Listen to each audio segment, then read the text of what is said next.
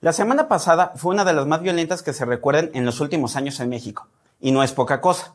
En un 2019 en el que ya nos acercamos a niveles récord de homicidio, con casi 30.000 personas asesinadas, pensamos que habíamos visto lo peor. Pero no fue así. En menos de siete días tuvimos, primero, una terrible emboscada en Michoacán en la que 13 policías fueron asesinados. Después, ocurrió en Guerrero un supuesto enfrentamiento entre un grupo armado y militares que dejó un soldado muerto por 14 civiles abatidos. Se trata de un caso para nada esclarecido. Y el jueves pasado, en un hecho que impactó a México y al mundo, integrantes del cártel de Sinaloa tomaron literalmente la ciudad de Culiacán para frenar la detención de uno de los hijos del conocido narcotraficante Joaquín El Chapo Guzmán. La operación criminal fue, como todos sabemos, un éxito.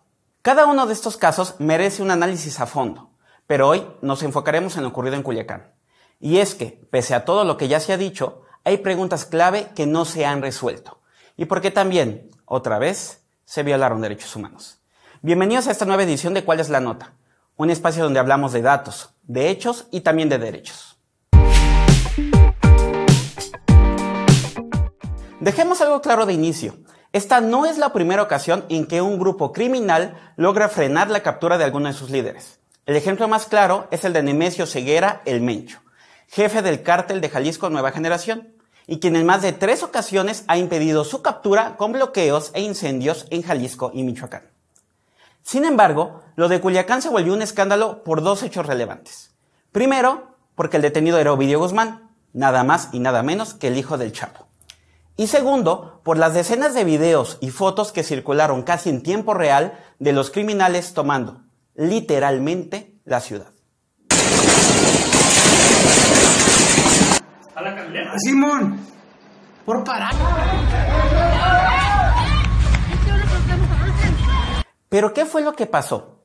Quedémonos con la versión que al final, de forma muy accidentada, nos dio el secretario de Seguridad, Alfonso Durazo. Se intentó cumplimentar una orden de aprehensión con fines de extradición en contra del hijo del Chapo y se desplegó un operativo. El resultado fue un desastre.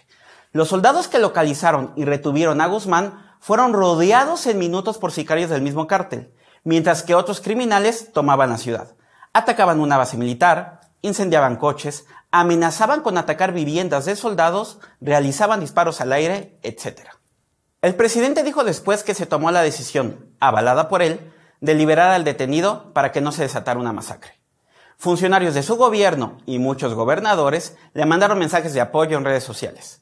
En contraparte, hubo políticos y expertos que calificaron lo ocurrido como una falla y hasta como una vergüenza.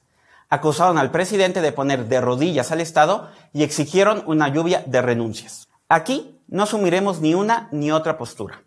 Eso a los periodistas no nos corresponde. Pero, ante un hecho tan delicado, me parece que hay preguntas clave en las que hay que insistir y que no han tenido respuesta. Van cinco de ellas. ¿Quién fue el responsable de diseñar el operativo y por qué no hubo la planeación e inteligencia necesaria? Por sentido común. Si vas a desplegar una acción para detener al hijo del Chapo en Culiacán, debes prepararte para todo, ¿no? pero parece como si no hubiera existido la más mínima previsión de ello.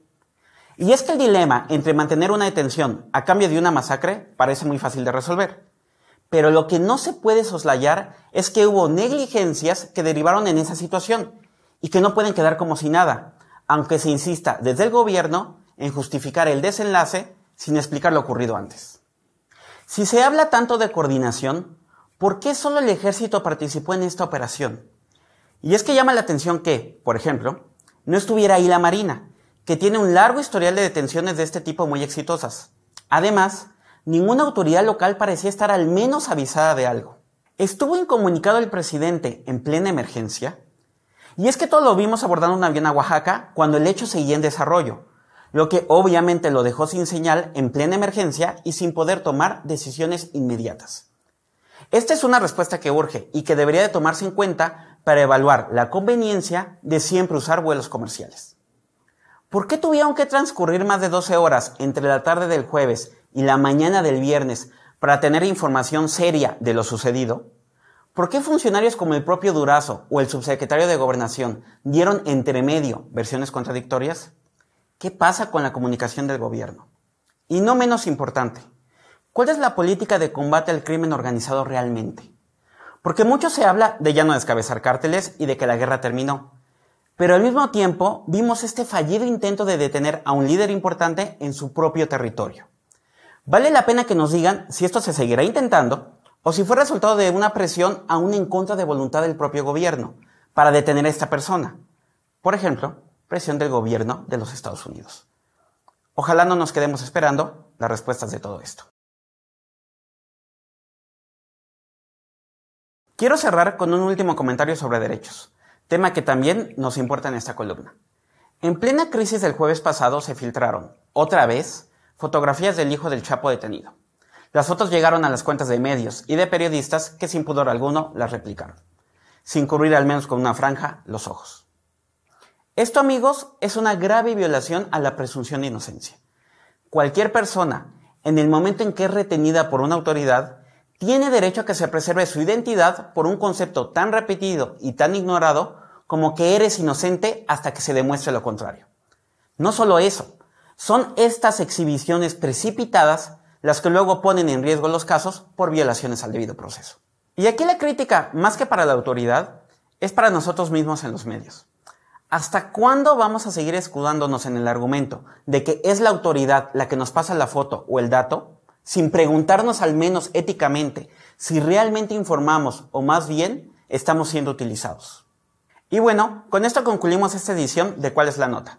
Recuerden compartir el video si les gustó y dejar sus comentarios y sus críticas, así como propuestas de temas que quieren que abordemos. Hasta la próxima.